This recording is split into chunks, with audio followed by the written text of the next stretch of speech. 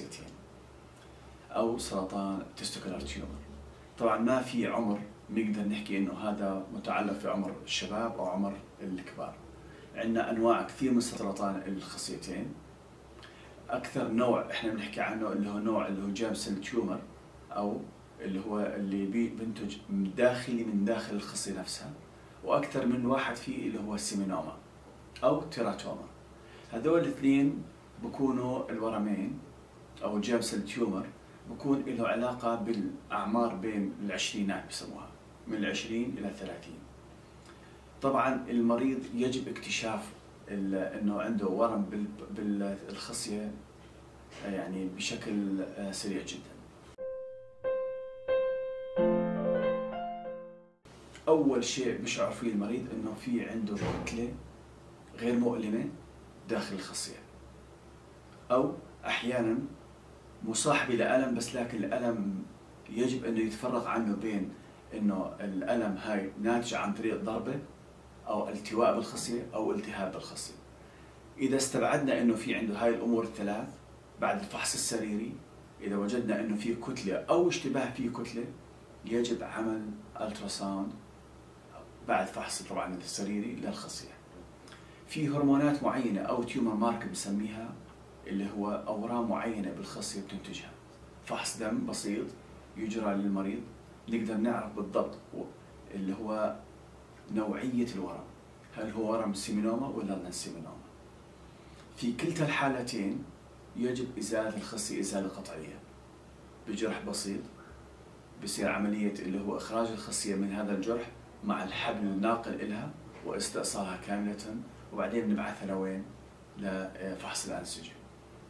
مع بعديها فترة أو قبلها بنكون عاملين حصور طبقية للصدر والحوض والبطن. بنشوف إذا في غدد لمفاويه مصابة ولا لا. طبعا كمان نفس الشيء إذا طبيعة الورم. شو طبيعته؟ هل هو ورم مثلا seminoma؟ seminoma؟ بيعتمد شو نعمل بعدين.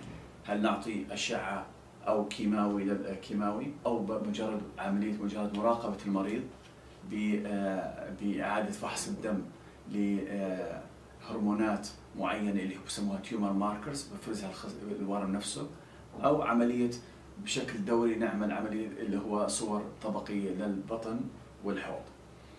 في بعض الأحيان نضطر نعطي مرضى chemotherapy كيماوي بكون هذا الورم حساس جدا للكيماوي فنعطيه عدة cycle ات للورم.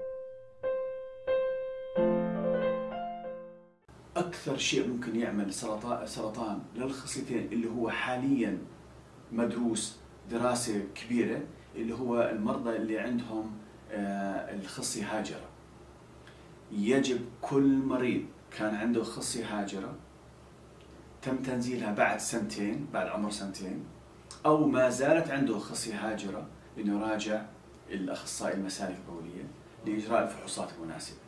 لأنه إذا كانت خصية هاجرة ترفع عملية إنه يصير عند المريض سرطان في الخصيتين خمس folds يعني 500% على عمر معين أكثر من عمر 20 مثلا ممكن ترفع على 14 folds يعني 1400% لذلك كل مريض عند كانت عنده خصية هاجرة إن كانت في القناة نفسها أو في البطن يجب عليه أنه يراجع أخصائي جراحة الكلى والمسالك البولية لإجراء الفحوصات المناسبة. هذا الورم نستطيع علاجه خاصة إذا كان في مراحل الأولية.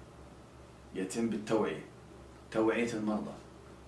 يعني أنا بتذكر أحيانا لما كنا في آه، أثناء الإقامة بأستراليا كنا نعمل زي زيارات دورية على المدارس نعمل self examination يعني خلي المرضى الطلاب نفسهم يفحصوا خصيتينهم هل في أورام؟